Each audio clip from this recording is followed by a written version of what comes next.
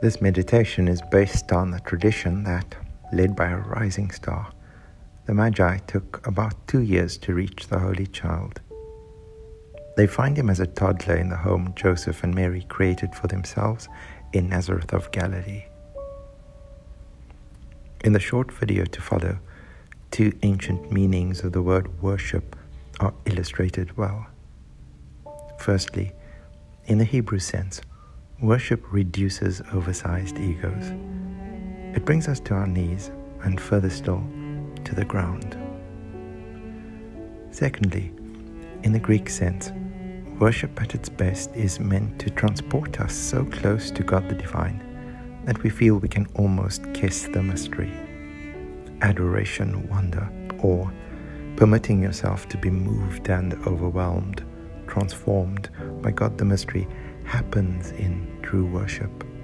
Shifts, seismic or subtle, therapeutic alignments that challenge, comfort, hold, and heal, these take place in true worship.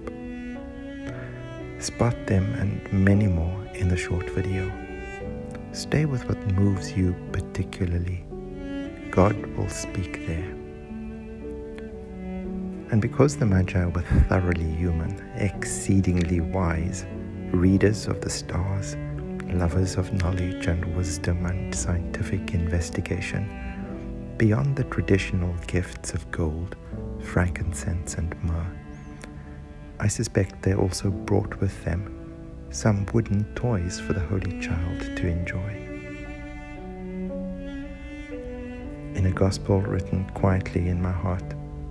I imagine that several days after the caravans had left, the child Jesus, accompanied by a few feral dogs and cats, shared some of those toys with others, treasuring only one for himself.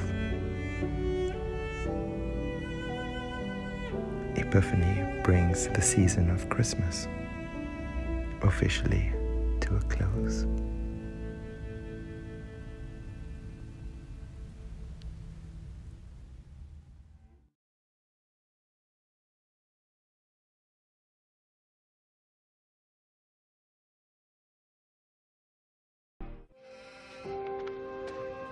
مريم.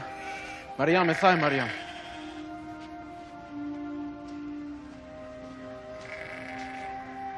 كبريال نثار لمحيا يشوع.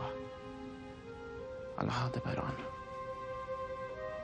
شلون بك شلون لك؟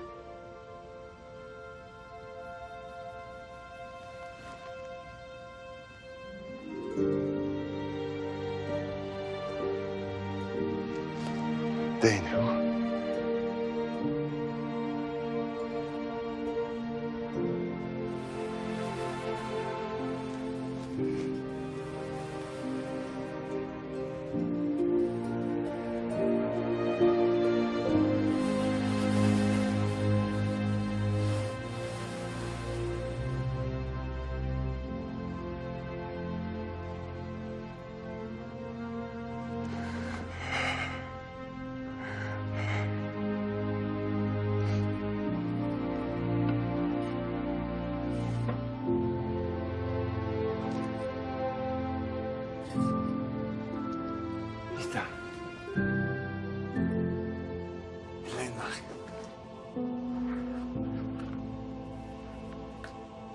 累了。